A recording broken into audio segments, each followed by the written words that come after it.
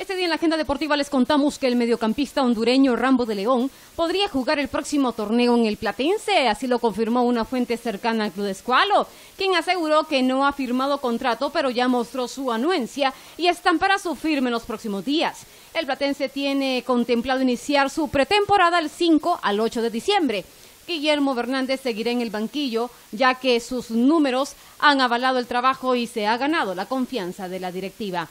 Y en noticias internacionales, Barcelona derrotó a Roma por 6 a 1 este martes en la quinta jornada del Grupo E de la Liga de Campeones y se asegura clasificar para los octavos de final de la Champions como primer clasificado de la llave. El partido sirvió a Luis Enrique para recuperar a su tripleta atacante Messi, Neymar y Suárez en el once titular después que el astro argentino se haya recuperado de su lesión de rodilla sufrida a finales de septiembre y Messi estrenó titularidad con dos de los goles de su equipo a los 18 y 60 minutos, mientras que Suárez anotó otros tantos a los 15 y 44 minutos y cerraron la goleada Gerard Piqué al 56 y Adriano Correira al 77.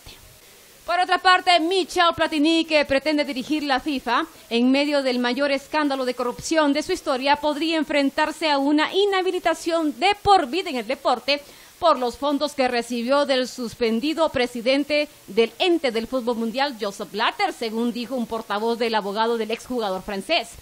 El responsable del fútbol europeo era el máximo favorito para sustituir a Blatter en un congreso especial de la FIFA que se celebrará en febrero en Zurich, hasta que se vio implicado en un escándalo de sobornos por un pago de 2 millones de francos suizos, lo que equivale a 1,97 millones de dólares de la FIFA en el año 2011.